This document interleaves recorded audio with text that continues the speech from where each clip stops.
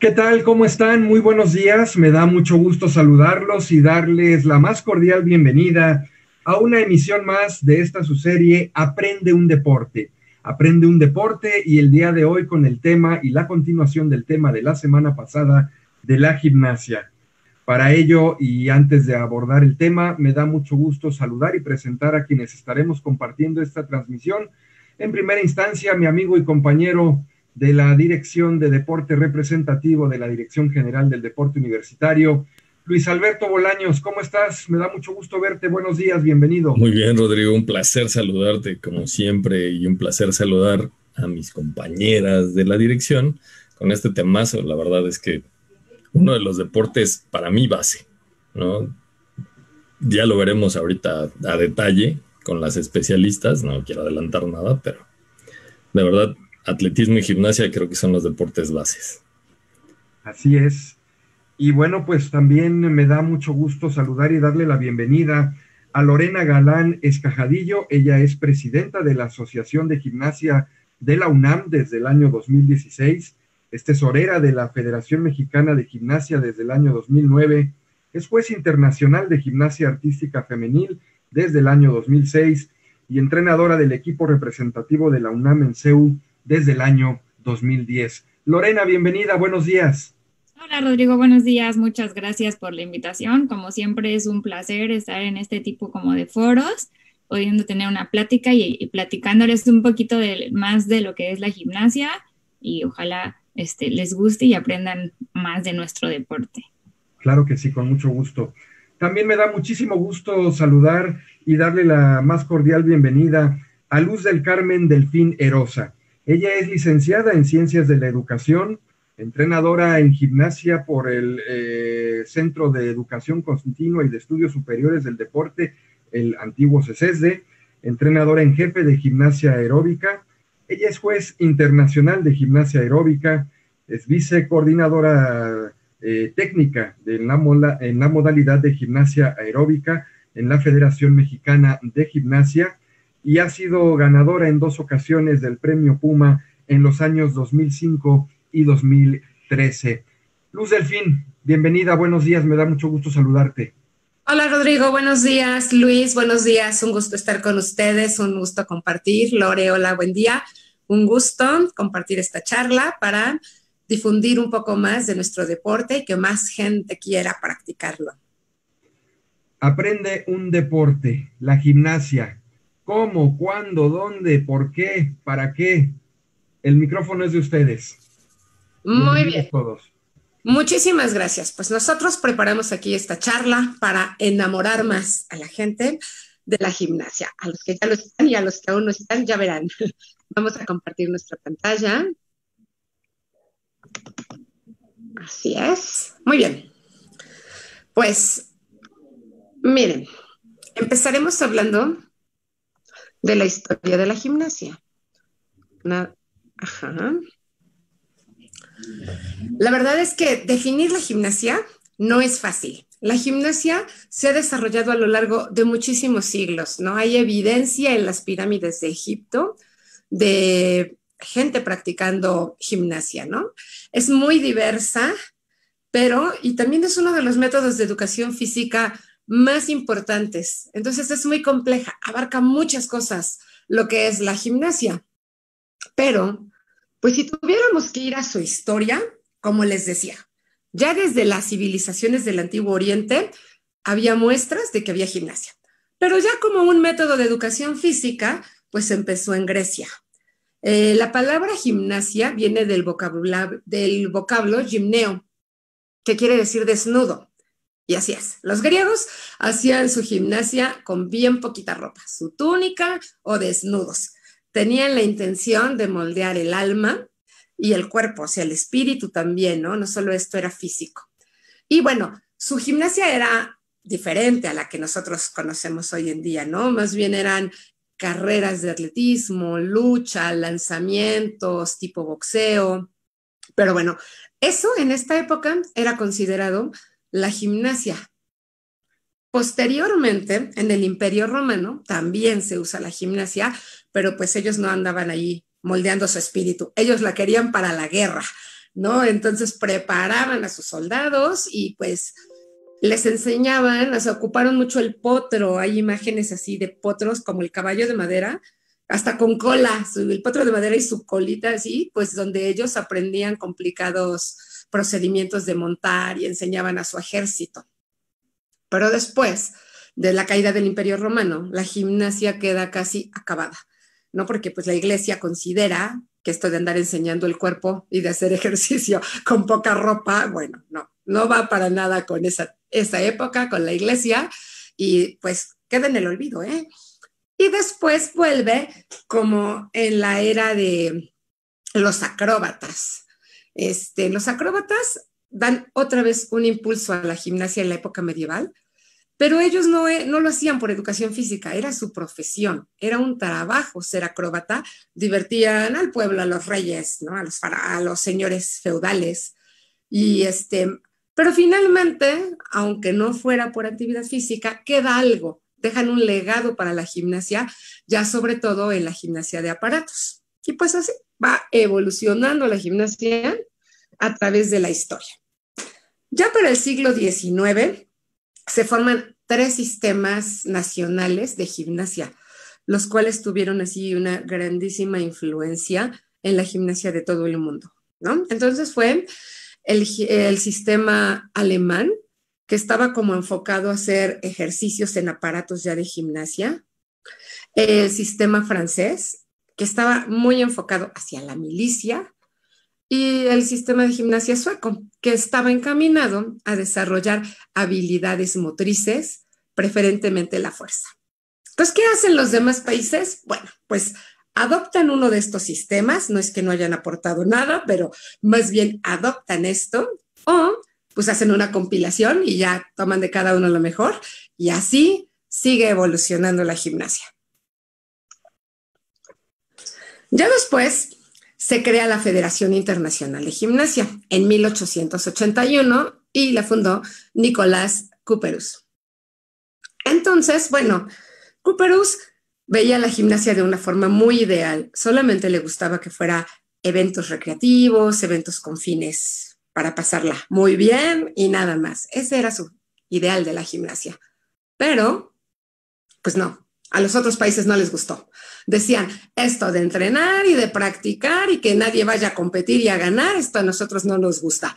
Entonces, pues a pesar de lo que Cooper os decía, ellos empezaron a organizar sus competencias de gimnasia y la gimnasia participa en la primera edición de los Juegos Olímpicos Modernos en Atenas en 1896. Y bueno, el primer torneo que organizó la FIG, ya no le quedó más al pobre Cooperos y pues ya organizó sus torneos regulados y todo, se lleva a cabo en Amberes en 1903. Pero también les quiero decir que no vayan a pensar que se hacía como ahora.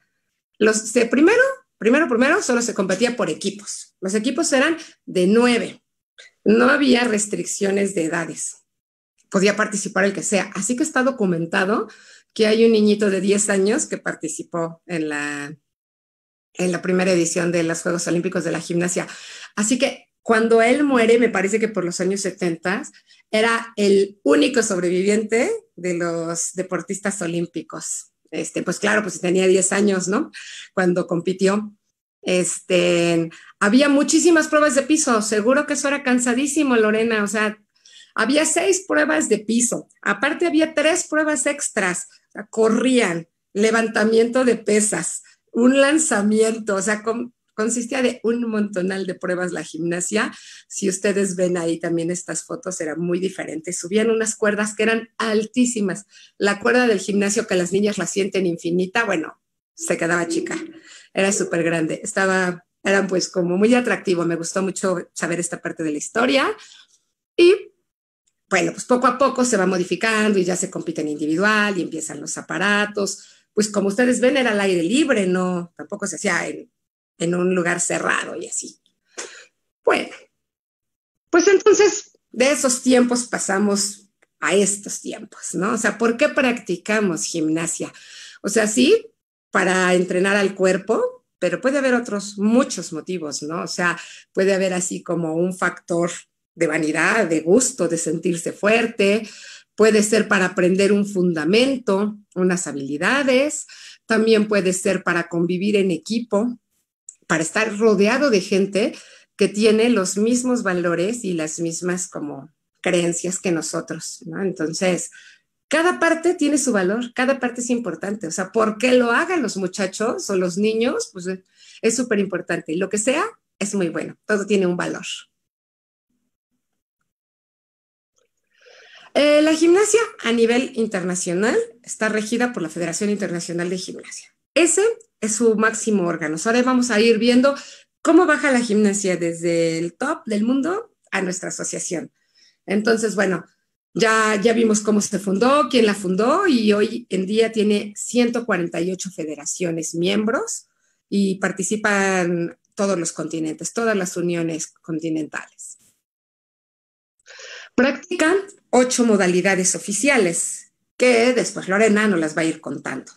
Pero bueno, pues está la gimnasia para todos, la gimnasia artística varonil, la gimnasia artística femenil, la gimnasia rítmica, la gimnasia de trampolín, la gimnasia aeróbica, la gimnasia acrobática y muy recientemente el parkour. Así que la verdad es que la gran mayoría de la gente conoce la gimnasia artística, ¿no? La femenil y la varonil. Cuando alguien le dice que practica gimnasia y es de otra modalidad, a la gente le cuesta trabajo, pero ¿cuál? Pero ¿Cómo? Entonces, si dices la aeróbica, te dicen, ah, la de los listones, tú no, no, no. Ah, los aeróbics del salón. No, tampoco, tampoco. Es que, pues así, hoy sabemos que hay ocho modalidades y que todas son muy diferentes, pero muy interesantes. Y luego, si bajamos de la FIG, pues está la Federación Mexicana de Gimnasia, que se fundó en 1926, la primera participación de nuestro país. Hay quien dice que fue cuatro años antes, la federación lo marca que fue en el 1932, en Los Ángeles, y también se practica, la federación tiene las ocho modalidades que tiene la FIG, está conformada por 35 entidades. Eh, bueno, muchos de ustedes ya sabrán, son 32 más el Politécnico, el IMSS y la UNAM por su carácter y su número de gente. Tiene más de 500 clubes y casi 23 mil afiliados. Es muchísima gente la que practica, pero les quiero decir que de estos 23 mil, son muchísimos más, porque solo se afilian los que compiten. Los clubes solo afilian a los que compiten. Pues si no compites, no te afilian porque, bueno, finalmente tiene un costo. Entonces la gente a veces se lo ahorra. Entonces yo creo que tranquilamente podría ser el doble. Y de aquí bajamos a la UNAM, ¿no? Pues en la Asociación de Gimnasia de la UNAM, como nos los contó el otro día Cris, se forma en 1962. Ya nos contó Cris que han pasado grandes, grandes figuras de la gimnasia del país por este gimnasio, grandes anécdotas. Y bueno, pues vamos a ver ahora un poco de las características de la gimnasia. La gimnasia es un deporte de especialidad temprana o de especialización temprana, le llaman, porque porque aunque los máximos resultados competitivos ya los obtienes en la edad adulta, la formación de todas las destrezas motoras, este, ni de la fuerza y la flexibilidad, se adquieren de niño. Entonces, o sea, uno ve a los atletas ya grandes, pero nadie pudo empezar poquito tiempo atrás. O sea, toda esa gente empezó de niños. Por eso se dice que es de especialidad temprana. Entonces, a lo mejor nuestros amigos que nos ven nos dicen, Mm, no, pues ya es tarde. Ya, ¿para qué me voy a ir a escribir al gimnasio si ya estoy grande? No se me desanime nadie.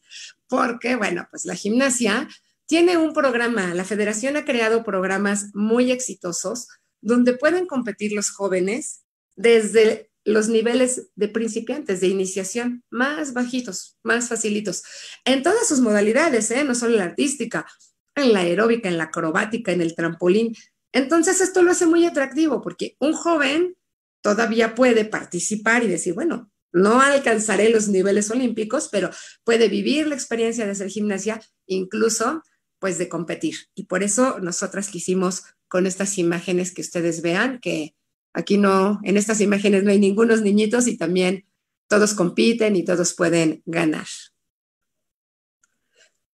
Entonces, ahora sí, vamos a pasar. Lorena nos va a ayudar a explicarnos a todos en qué consisten todas estas modalidades que nosotros practicamos. Muy bien, muchas gracias, Luz.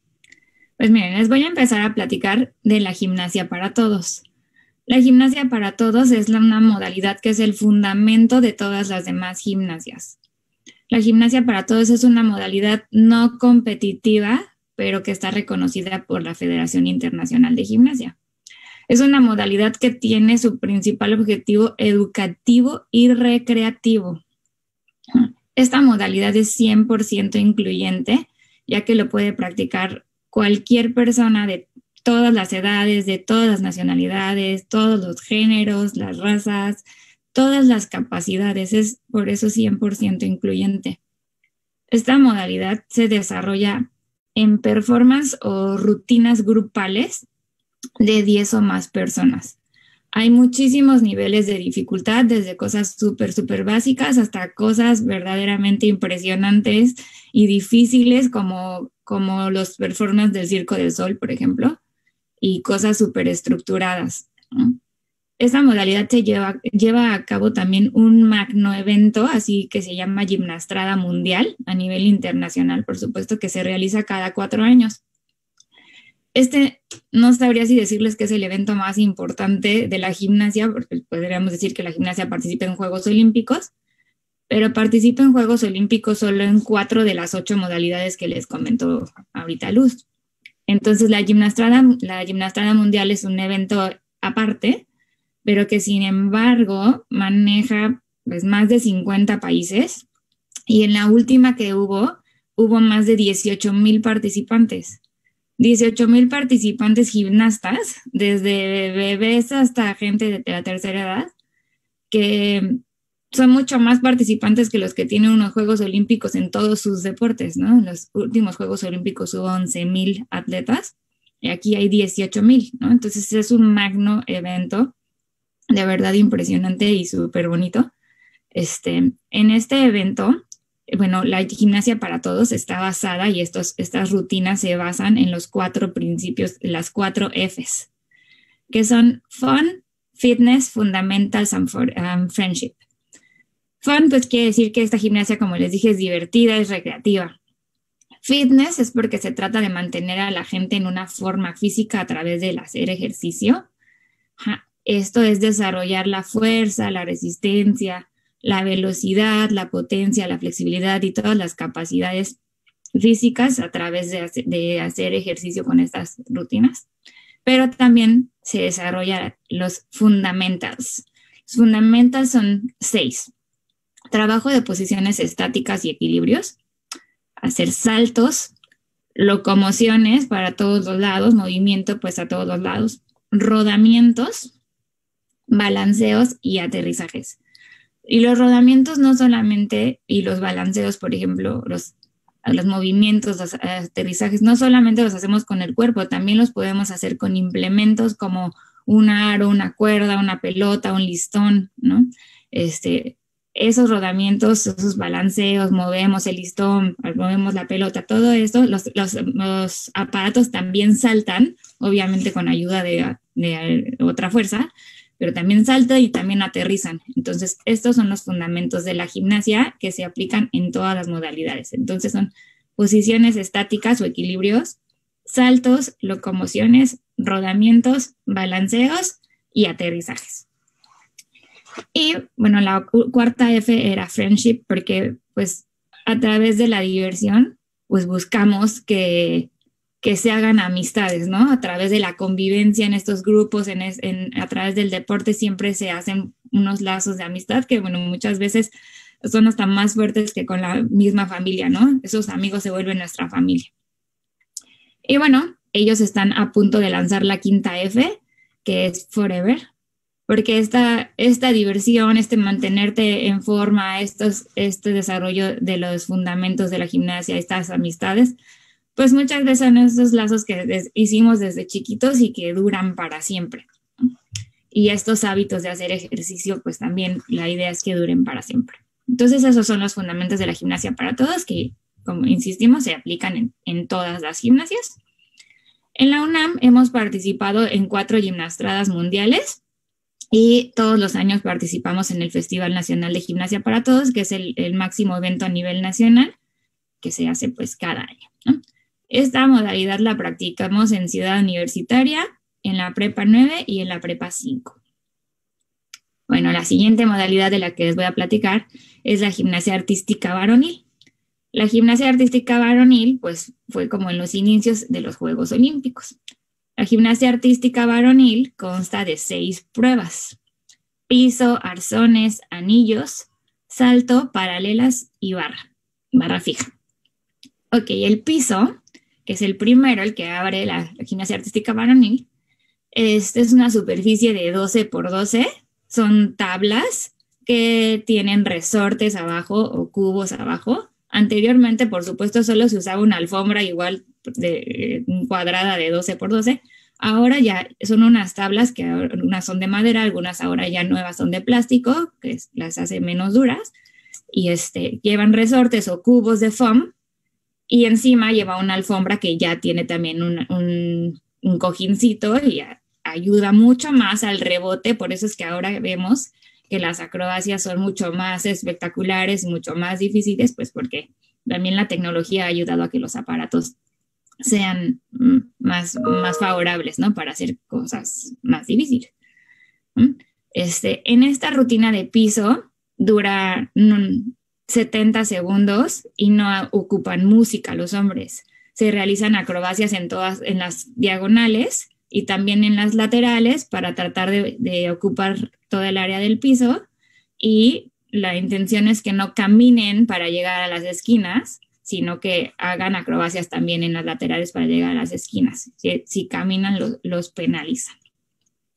Después tenemos la prueba de salto de caballo y no es que estén en orden, sino es porque esta les voy a hablar porque el piso y el salto son las modalidades que comparte tanto los hombres como las mujeres en la gimnasia artística.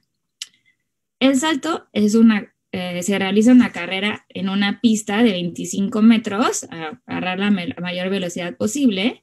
Luego se salta en un botador o trampolín que tiene resortes y después se busca el apoyo de las manos sobre el caballo, ahora tabla de salto le llaman, para buscar una repulsión inmediata con las manos sobre la tabla de salto. Pasas por arriba de ella y aterrizas en unos colchones. Eso, después de la repulsión, puedes encontrar que los gimnastas ya hagan rotaciones eh, en el eje transversal, o sea, mortales al frente o atrás, y también rotaciones o giros en el eje longitudinal, o sea, hacia la derecha y hacia la izquierda, ¿no? Entonces puedes encontrar mortales, dobles mortales con dobles giros y ya cosas muy, muy alocadas, o simplemente pasar sin hacer mortales del otro lado de la, de la tabla. ¿ok? Entonces, bueno, eh, antes era llamado salto de caballo porque literal saltaban un caballo. Después con el tiempo, pues ese caballo se volvió de madera y entonces ya era como un obstáculo de madera. Incluso tenía hasta este, la forma de caballo, pero después ya le quitaron como esa cabecita. Se volvió un caballo largo y angosto y los hombres lo saltaban de frente, así como en línea recta y las mujeres lo saltaban transversal, cruzado, atravesado. Entonces, las mujeres tenían que saltar un, pues algo más angosto y los hombres tenían que saltar algo muy largo que mide 1,60 de largo. Pero bueno, para los hombres, los apoyos, que los hombres tienden a tener espaldas más altas, más anchas, los apoyos pues eran difíciles porque era muy angosto y había algunos accidentes, entonces también por la tecnología y por la seguridad, esta tabla ya este, evolucionó y hoy en día es una tabla de 80 por 80 que muchos le llaman lengua, aquí la pueden ver en el dibujo, este, le llaman lengua porque tiene esta, esta postura, ¿no? Es una tabla 80 por 80 y se dobla del frente y eso eh, ayuda a la parte biomecánica para la repulsión en el apoyo de las manos. Bueno, estas dos pruebas, como les dije, son predominantes, bueno, estas dos pruebas son de la artística femenil y la varonil. Las diferencias es que las mujeres los saltamos a 1.25, los hombres a 1.35. La diferencia en el piso es que pues las mujeres sí ocupamos música, lo que nos permite dar un toque pues de interpretación personal, darle este tu, tu feeling, ¿no? A la música. La rutina de las mujeres dura 90 segundos y la de los hombres dura 70 segundos. Y bueno, en las mujeres la, prueba de piso es considerada la prueba reina, ya que es la más esperada por los aficionados, porque combina esta elegancia de la danza con pues las espectaculares acrobacias que hoy nos permiten esos, esos resortes y también pues por supuesto que los avances en, en, la preparación física, los avances en la alimentación y todo que pueden tener nuestros atletas también más fuertes, más musculosos, más potentes, etcétera, ¿no? Entonces empecé con esas dos rutinas que, digo, esos dos aparatos que pues son predominantemente de potencia del tren inferior. Después les voy a hablar de los arzones. Los arzones es, es un caballo parecido al caballo de antes, que es largo y angosto, que se pone a 1,15 de altura y tiene dos arcos o dos aros, dos arzones, pues en donde, en donde los gimnastas realizan esencialmente rotaciones o círculos con el apoyo de manos y en el caballo con arzones tienen que recorrer pasando por arriba y por abajo del arzón, recorrer toda el área del, del caballo hacia un lado hacia el otro. Entonces, esta, esta prueba es primordialmente de apoyos, de soporte. Después tenemos las paralelas, las barras paralelas, bueno, pues como su nombre lo dice, son dos, dos barras que están paralelas. Estas barras son de fibra de vidrio cubiertas de madera y en este caso estas barras son ovaladas. Este, se encuentran sostenidas por postes y están a dos metros de altura. Estas barras paralelas y el caballo con arzones son dos aparatos que son principalmente de apoyos o, o soporte sobre manos. Después hablaré un poquito de los anillos. Los anillos son dos anillos o aros que están colgados de una estructura metálica, quedando a 2.8 metros de altura del suelo. Se realizan tanto balanceos como círculos, bueno, balanceos completos de 360 grados, o mantenciones en suspensión, o sea, colgados, ¿no?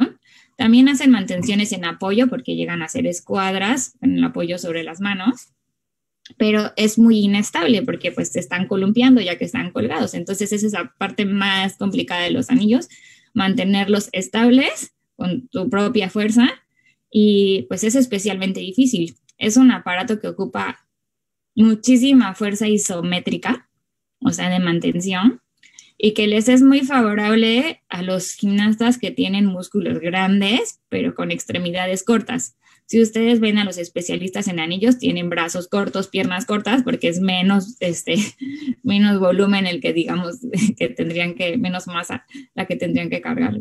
Este, mientras más chiquito seas, más fácil cargar, pero pues con músculos muy, muy fuertes, ¿no?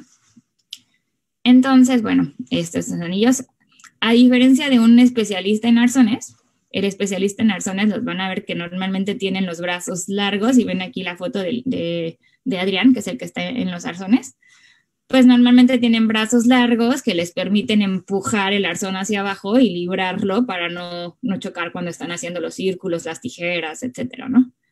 Entonces, un arzonista va a tener brazos largos y si tienen las extremidades eh, inferiores, como, o sea, las piernas largas también, pues tanto sus tijeras como todos sus círculos, eso va a lucir más, más amplitud. En cambio, los, los anillistas los vas a querer así chiquitos, chiquitos para que se puedan sostener mejor. Después, por último, tenemos la barra fija.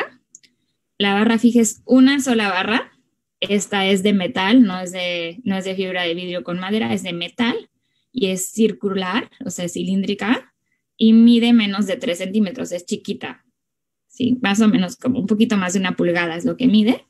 Este, está fija a 2.80 metros del suelo y aquí se realizan pues rotaciones este, en el eje transversal y en el eje longitudinal, también realizando elementos de vuelo. Los elementos de vuelo los llamamos elementos que sueltan y retoman la barra. A veces la sueltan, la pasan por arriba, a veces la pasan por arriba haciendo este, mortales y giros y lo vuelven a pescar y esa es la parte más espectacular de la barra fija. En lo particular, a mí me gusta mucho.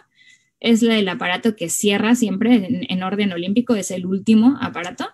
Y pues pienso que tiene mucho que ver con, lo espectacular que es, a la gente le gusta mucho y entonces pues es, es el, elemento, el aparato que cierra. Ahora les voy a platicar de la gimnasia artística femenil. esta consta de cuatro aparatos, salto, barras asimétricas, liga de equilibrio y piso. Pues como ya hablamos, el salto y el piso lo comparten con la varonil con sus pequeñitas diferencias. Entonces, las barras asimétricas, estas son de fibra de vidrio igual que las paralelas, solo, y fibra de vidrio forrada de madera, solo que estas sí son cilíndricas, no son ovaladas. Antes sí eran ovaladas, ahora no, son cilíndricas y tienen un diámetro de 4 centímetros, es decir, es más chica que la barra paralela y más grande que la barra fija. Este es una barra, es, bueno, son dos barras, como su nombre lo dice, asimétricas. Una está más alta que la otra. La alta está a 240, 250 y la baja a 160, 170. Eh, tienen una separación entre ellas de 1,80. Antes, antes, antes, las barras asimétricas empezaron siendo pues paralelas que solo bajaban y subieron una. Entonces eso hacía que estando suspendido en la barra que, estaba más alta, pudieran hacer las gimnastas eh, choques con su cadera en la barra inferior y hacían este, enrollados y golpeaban y volvían a subir e incluso hacían cosas de equilibrio, se paraban en la barra baja agarrando la barra alta y hacían cosas de equilibrio y cosas pues estáticas que hoy en día definitivo ya no se ven. Ya no alcanzas a agarrarte de la barra alta estando eh, parada en la barra baja. Este, y esto se ha vuelto un aparato sumamente dinámico. En muy pocos segundos, como entre 30 y 40 segundos, se realizan 15 ejercicios o más en suspensión y en apoyos momentáneos, porque hacen apoyos en parada de manos, pero pues la intención es que no sea estático, paso por la paramanos y luego, luego siguen avanzando. Entonces se realizan rotaciones, giros y también elementos de suelta y retoma como en la barra fija.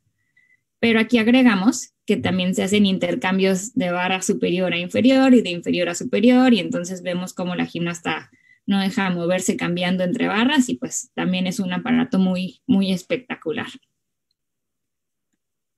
Pasamos a la viga equilibrio.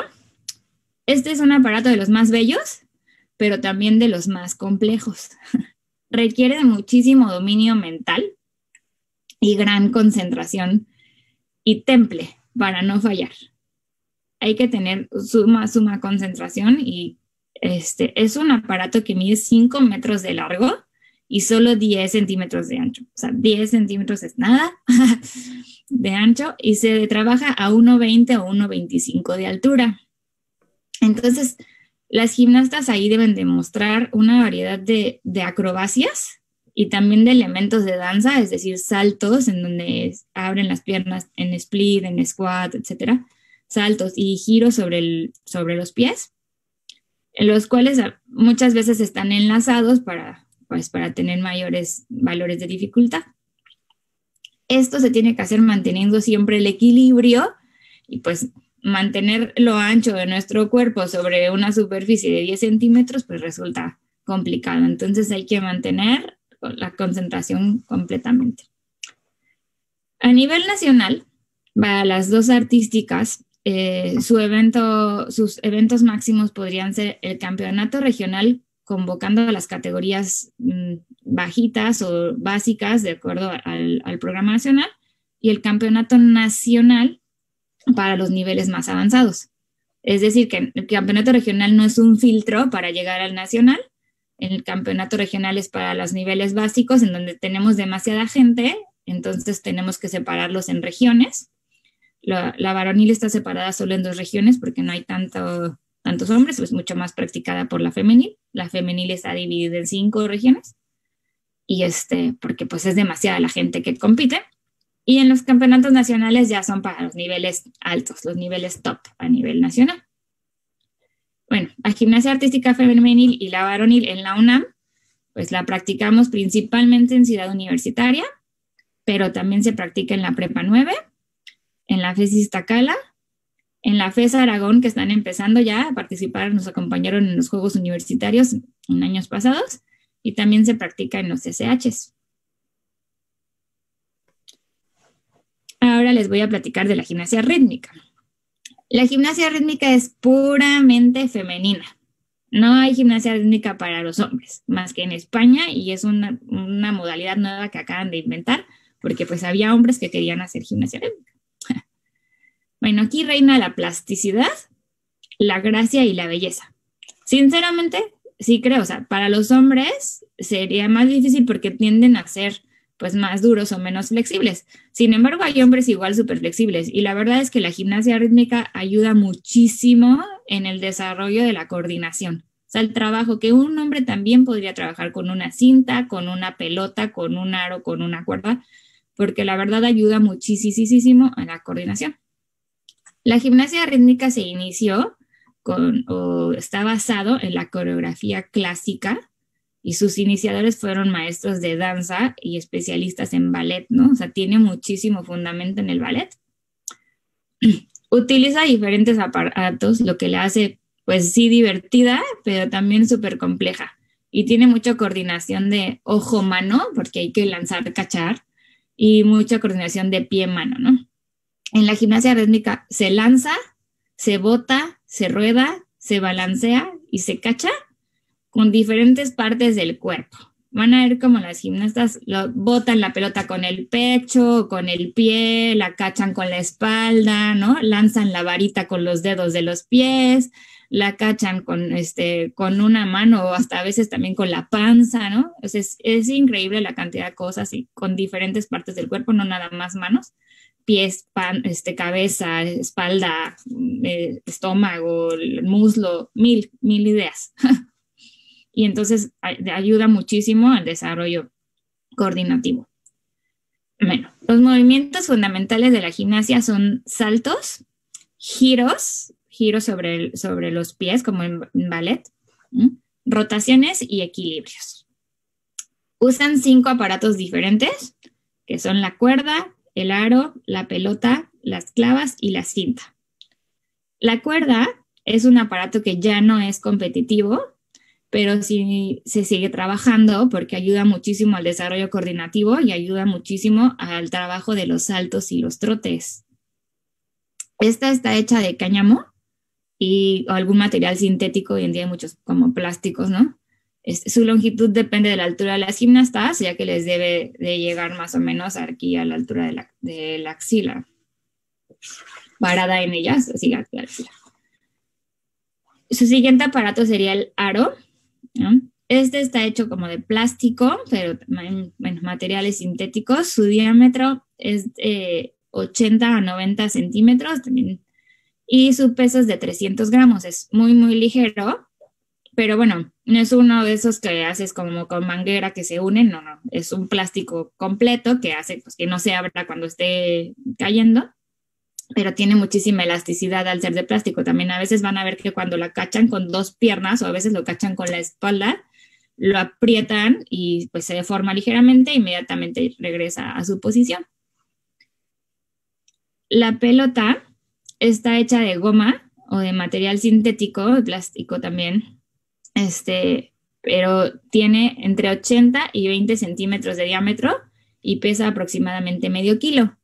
También esta, si ustedes la ven, no está inflada completamente. Si ustedes cuando la agarran la, pueden deformar un poco, lo que ayuda a que la agarren con, la, con las manos y que la agarren con las plantas de los pies y que la agarren entre la cabeza y la espalda o que la agarren con, a veces la agarran con, en la parte de las corvas de la rodilla, etcétera. Y bueno, eso, la que la pelota no esté completamente dura, ayuda a eso. Pesa, insisto, medio kilo Luego las clavas, estas clavas están hechas también de plástico, de caucho, anteriormente estaban hechas de madera y entonces eran durísimas y podías descalabrar si te caía una clava encima. este, tienen entre 40 y 50 centímetros de largo y bueno, se usan dos, ¿no? Una en cada mano, a veces usan las dos en una sola mano, este, a veces lanzan una, lanzan la otra, a veces las lanzan juntas, eh, hay mucha variedad para hacer, pero Usar un aparato en cada mano requiere una coordinación aún mayor. A veces gira una para adentro, una para afuera, a veces una lanza, la otra gira, y entonces hacer una cosa con una mano y otra cosa con la otra y estar esperando ver dónde cachas una que la otra aventaste diferente es de verdad complicado. Profesora Lorena, no quisiera interrumpirla, pero nos va a ganar el tiempo y creo que faltan todavía tres modalidades, ¿verdad? Sí, sí, sí. Ok, perfecto. Bueno, vamos, la cinta es el último de la rítmica. Este está hecho de satín y mide 6 metros de largo. Lleva una varita que puede ser de madera, de bambú o de plástico, que mide 50 o 60 centímetros. Y bueno, con esta se hacen ondas, círculos, zigzags, espirales, etc. Bueno, por último, la rítmica compite en individual y en conjunto. Las individuales hacen cuatro aparatos y suman solo a round y los conjuntos hacen este, dos rutinas. Los conjuntos son de cinco gimnastas y esas dos rutinas se presentan para el round. Nosotros la rítmica únicamente la practicamos en la prepa 9. Pues súper rápido ahora por el trampolín. El trampolín tiene cuatro modalidades.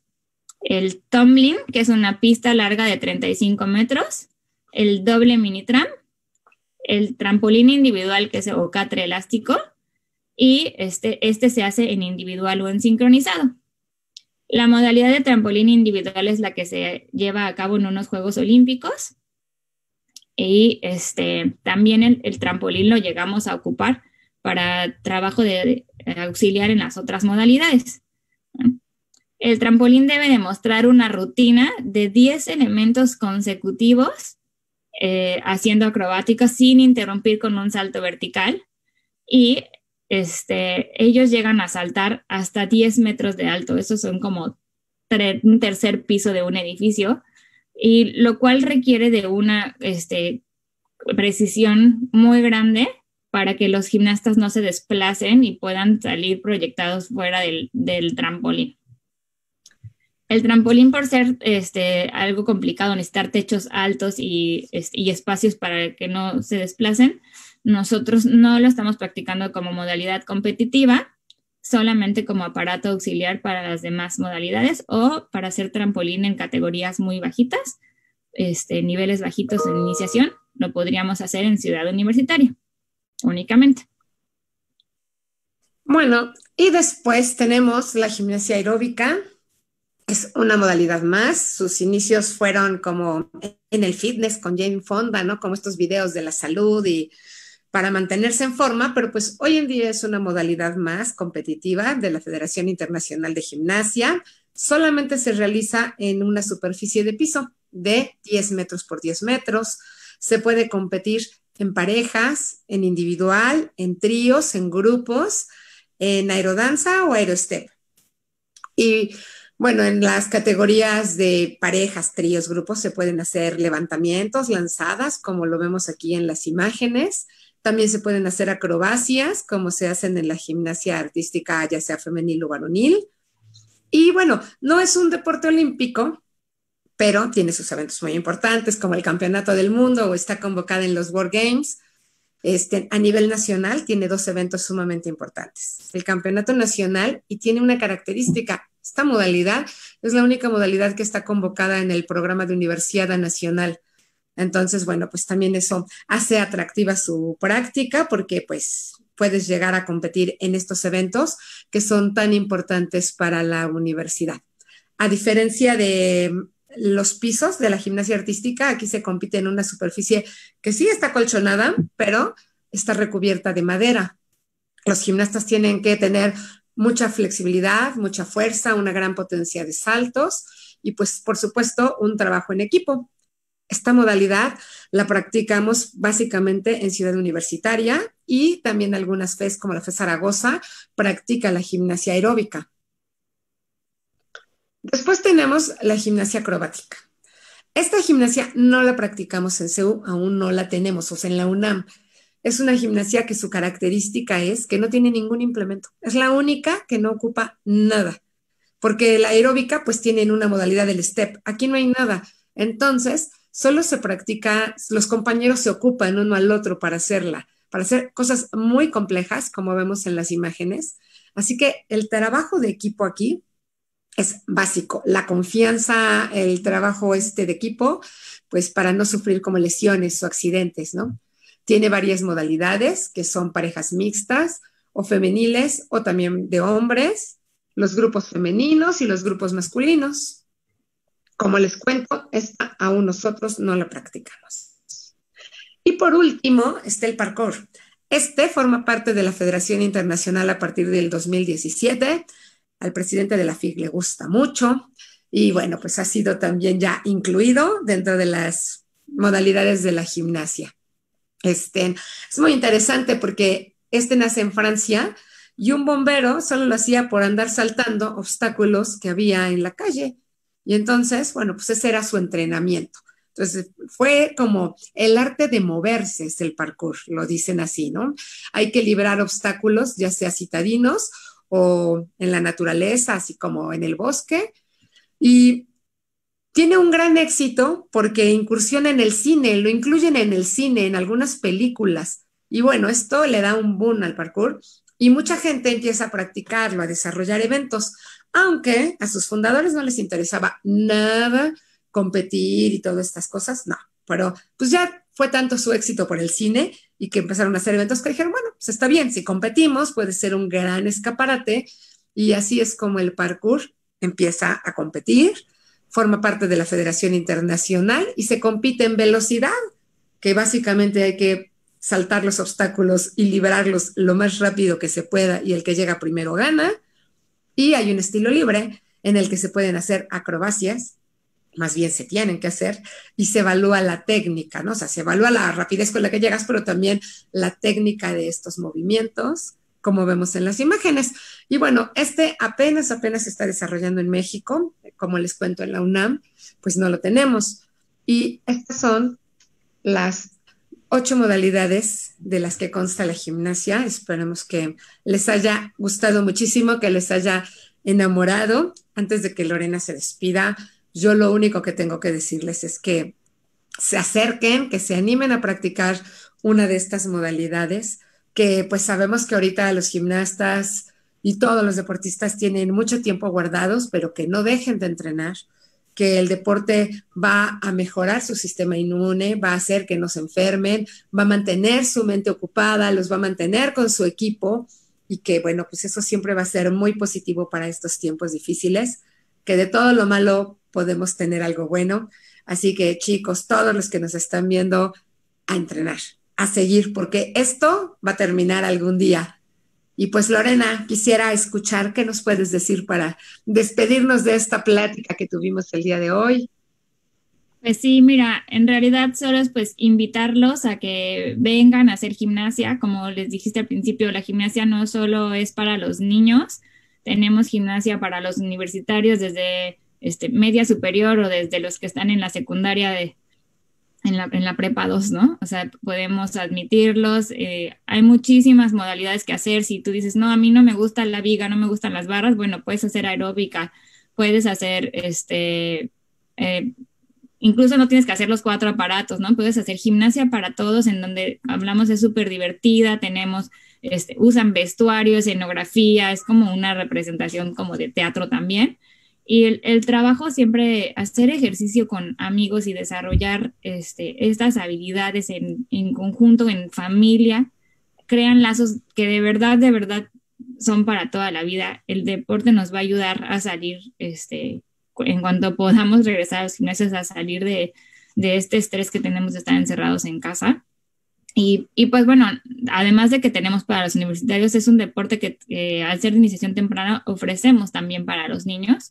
Entonces, en Ciudad Universitaria tenemos el programa de extensión, al cual los invitamos en cuanto podamos regresar, este, que se unan a nosotros y ya cuando te vuelvas universitario, pues ya tienes toda la vida siendo puma de corazón, aunque no tengas un número de matrícula, y ya cuando entres a la secundaria o a la prepa, pues podrás representar, podrás representarnos de, como UNAM desde chiquito, pero pues ya siendo estudiante universitario y pues el deporte nos ayuda a esta vida integral, ¿no? La gimnasia te ayuda a mucho desarrollo de, coordinativo, que te puede ayudar también después para hacer otro tipo de deporte si tú así lo deseas.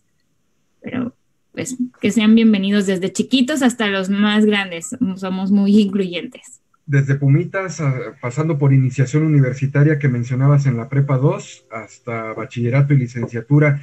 Les quiero agradecer a ambas una magnífica exposición de las mejores que he visto en esta serie, este, muy fluida, muy rica en información y muy bien llevada a cabo.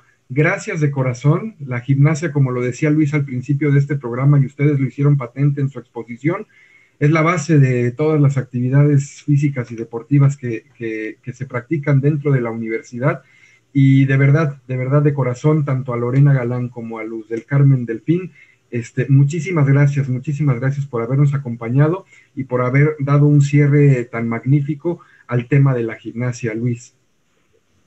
Sí, es muchísimas felicidades, excelente, de verdad, me encantó. Eh, por el tiempo ya no voy a poder leer el kilo de mensajes que llegaron, de verdad hay muchísimos saludos, muchísima gente que nos estuvo siguiendo en la transmisión las invito a que los revisen por favor y si pueden, pues contéstenles. Este, hay muy, muy bonitos mensajes, la verdad. Felicidades, se nota que son muy queridas y muy, muy, muy respetadas todas unas instituciones. Muchas gracias por todo. Muchas gracias a los dos y a, y a Max por la invitación. Gracias por considerarnos y por invitarnos. Cuídense mucho. Gracias. Luis Alberto Bolaños, nos vemos la próxima semana. Nos vemos. Cuídense mucho. Gracias, Luz del Carmen Delfín Rosa. Gracias, Lorena Galán. Soy Rodrigo de Buen y les agradezco el favor de su atención. Los invitamos para que el próximo lunes, en punto de las 7 de la noche, nos acompañen en otra emisión de esta serie de Aprende un Deporte. Volvemos al, al formato original de lunes, Aprende un Deporte. El martes, historia y anécdotas del deporte dentro de la UNAM. Por favor, cuídense mucho. Sana distancia, uso de cubrebocas y a seguirnos cuidando. Hasta la próxima. Muchas gracias.